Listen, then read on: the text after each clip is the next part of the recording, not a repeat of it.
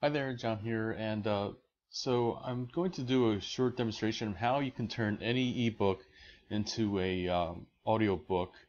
Um, basically, you go into settings, and within general, there's accessibility, and go to voiceover, switch that to on, and pretty much from there, the Voiceover. Your iPad or iPhone will start being, uh, you know, basically reading everything. Now, some different controls are going to be a little bit different. You need to swipe with three three fingers instead of one now. Page 3 of 8.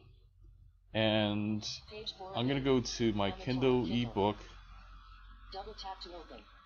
and you have to like select something and then double tap to open it. But once you open it, Menu off. Double tap for menu. Swipe So- two fingers down for continuous reading. so if Double you tap reviews. if you- one has realized are lots of if you get s- very use two fingers as swipe, it'll start when they talk reading. Now, unfortunately, I don't think the AirServer here that I'm using doing the screen right at the capture bottom of the sales page, is so I don't catching the sound. But here, let me bring it up to the audio a little bit. not got a refund. Once they have received a refund, they no longer have access to your. You can probably hear at least. Portrait.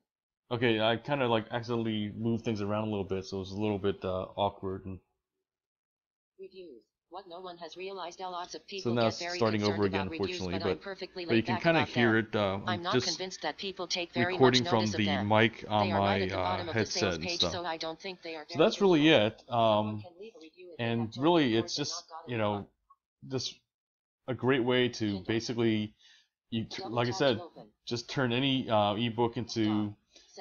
You know an audiobook. Now the thing is, is like tap to open. you have to kind of um, make sure that Voiceover. Voiceover off. when you um, turn this off and stuff like that um, for other things, because otherwise you'll have to do.